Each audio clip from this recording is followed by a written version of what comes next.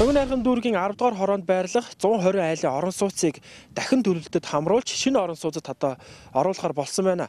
Тэгэхээр нийтдээ 260 гаруй өрхүүд одоо энэ хүү шинэ дахин төлөвлөлтөд хамрагдахаар болсон. Одоогийн байдлаар 40 гаруй айл нь одоо нүүж түрээсийн байранд амьдарч байгаа гэдгийг хэлж байна.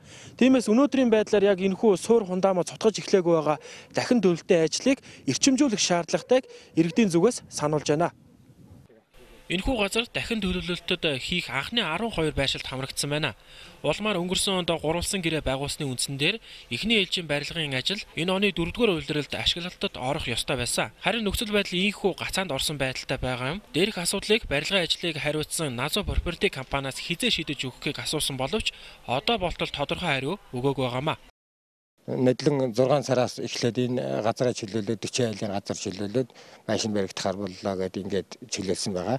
Аа тэгээд одоо нийслэлийн ерөнхий хөдөлгөөний газараар одоо батлагдсан нөгөө 5 давхар байшин маань хөрөнгө оруулагч одоо э, энэ дээрээс л ашиг олдлого олохгүй байна. Бид нар ерөнхий төлөвлөгөөгөө өөрчилнө гэд бид нарт бол 24 давхар байшин баригдахаар боллоо гэж хэлсэн.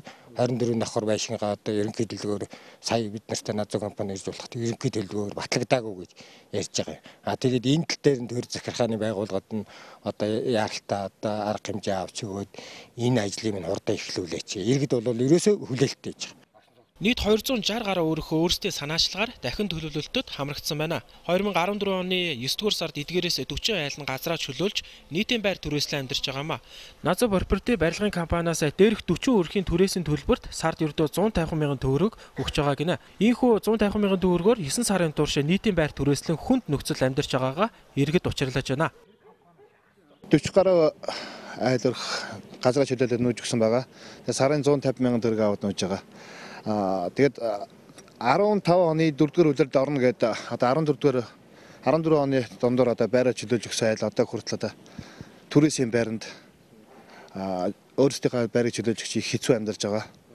Тэгээ одоо хизээ одоо энэ барилга баригдаж хизээ бид нар одоо юмд орох юм.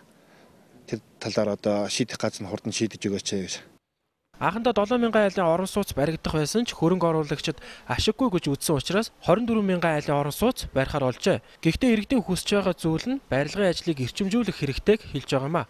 Төрийн байгууллагын уялдаа холбоогүй ажлын улмаас ийхүү оршин суугчид түрээсийн байр хийсэн амьдарсаар байна.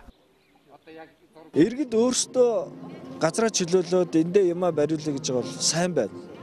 Тэгэхээр хэрв өөртөө иргэн ямар нэгэн саад учруулахгүйгээр чөлөөлж байгаа бол энэ дээр нь харин аль болох ажиллагаа төргөө явагдах хэрэгтэй. Эхлүүлэн хичээд эхлэхгүй байгаа бол тэр байгууллагатай нь очиод асуудлыг ярих хэрэгтэй л доо. Юунаас болоод удаж би зүгээр юунаас айж ийн гэхлээр нэг компани нууцсандаа жишээлбэл юу гэдэг юу төр захиргааны байгууллага нь хүн суртал гаргаад удаагаад байсан ч юм уу банкны зээл нь бүтэхгүй ч байгаа юм уу те иймэрхүү юмнууд бол байхыг бас үгүйсэхгүй л дээ. Гэхдээ л альва ажлыг эхлэнэ гээд юу шангаа тавьсан бол энэ бүгдээ эхлээ урчлан тооцоолцол байх хэрэгтэй байхгүй юу. Манайхны бас нэг дутагдал бол ажлаа эхлүүлчээ дараа нь тооцоогоо хийх гэдэг. Уг нь эхлээд тооцоогоо хийчээд ажлаа эхлүүлж явах хэрэгтэй байхгүй юу. Энэ асуудлыг нийслэлийн ерөнхий төлөвлөгөөний газар, гэр хорооллын хөгжлийн газар болон Назо Property барилгын компани хариуцах ёстой ч одоо болтол иргэдэд барилгын ажлын талаар оновчтой шийд өгөөгүй байгаамаа. Харин оршин суугчдын хувьд хүүтний улирал болохоос өмнө энэхүү асуудлыг яаралтай шийдэж өгөхийг барилга хариуцагчдаас хүсэж байгаа